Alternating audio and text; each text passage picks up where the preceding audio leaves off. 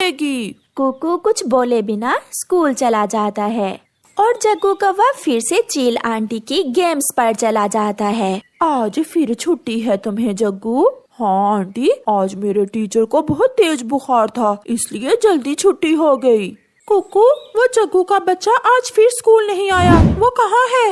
मगर कुकू चुप रहता है। सर आज वो फिर गेम्स खेलने गया है वो रास्ते से ही चला जाता है। छुट्टी से थोड़ी देर पहले जग्गू भी क्लास में आ जाता है। जग्गू तुम कहाँ थे? टीचर टीचर मेरे पेट में बहुत दर्द था। मैं बुलबुल आंटी से दवा लेने चला गया था। ठीक है तुम ये चिट्ठी अपने पापा को दे देना। तोता टीचर एक चिट्ठी जग्गू को दे देता है। रास्ते में जाकर जग्गू कौवा नदी के पास बैठकर वो चिट्ठी पढ़ता है। कालू, तुम्हारा बेटा रोज स्कूल नहीं आता। जग्गू बहुत आवारा हो गया है, वो हर रोज गेम्स खेलता है।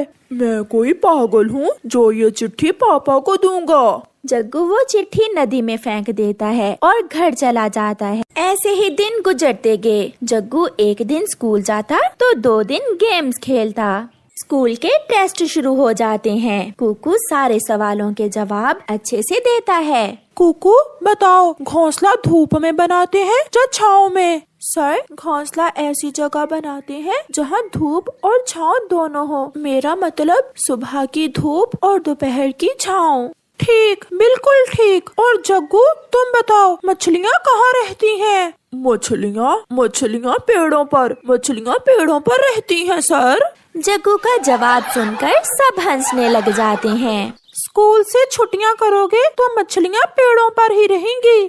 शाम के बाद तोता टीचर जग्गू के पापा कालू कवे को फ़ोन करता है। मोबाइल की घंटी बजती है। कालू कौवा वॉशरूम में था। अरे ये तो तोते टीचर का फ़ोन है। जग्गू बहुत होशियार था। वो अपना पापा बनकर बोलता है। हेलो हेलो कौन है? मैं जग्गू का टीचर हूँ। जग्गू आज टेस्ट में फेल हुआ है और मैंने कुछ दिन पहले चिट्ठी भी लिखी थी आपको। आप ध्यान से पढ़ाया करें। इसमें दोष आपका ही है। आप अच्छे से नहीं पढ़ाते हैं मेरे बेटे को। ऐसा कहते हुए जग्गू फ़ोन बंद कर देता है। ये कैसा बाप है जिसे अपने बेटे की पढ़ाई की चिंता ही नहीं है? मैं कितना बुद्धिमान हूँ। मैंने सबको उल्लू बना दिया। पापा को भी मम्मा को भी आंटी चिड़िया और आज तोते टीचर को भी उल्लू बना दिया। ऐसे जग्गू कौवा बहुत खुश होता है। आज जग्गू के पास गेम्स खेलने के लिए पैसे नहीं थे। वो बैठा सोच रहा था और फिर उसे एक उपाय सूझता है। जग्गू बेटा स्कूल जाओ। तुम्हारा बैग तैयार है। मम्मा आप नदी पर जाएँ, मैं अपना होमवर्क मुकम्मल करके चला जाऊँगा। गोरी नदी पर चली जाती है और जग्गू जल्दी से अपनी मम्मा का सोने का हार चुरा लेता है और घर से निकलता है। आज पैसों के बिना मैं तुम्हें गेम नहीं खेलने दूँगी। आंटी पैसे तो नहीं है मगर मैं अपनी मम्मा की एक चीज़ चुरा कर लाया हूँ। ऐसे कहते हुए जग्गू अपने बैग से सोने का हार निकालकर चील को दे देता है। हैरान होगी ना आंटी अब मुझे पूरा वीक गेम्स खेलने देना। ऐसा हार तो मैं कब से लेना चाहती थी? हाँ हाँ एक वीक क्या? तुम दो वीक गेम्स खेल लेना। जग्गू फिर से गेम्स खेलने लगता है। मेरा हार! मेरा हार कहाँ गया? मैंने कल ही तो अलमारी में रखा था। कालू कालू, मेरा हार कहाँ है? मुझे क्या मालूम? मैंने नहीं पहना। तुम देख सकती हो। मैं सच कह रही हूँ मेरा हार अलमारी में नहीं है। जग्गू घर आए तो उससे पूछना।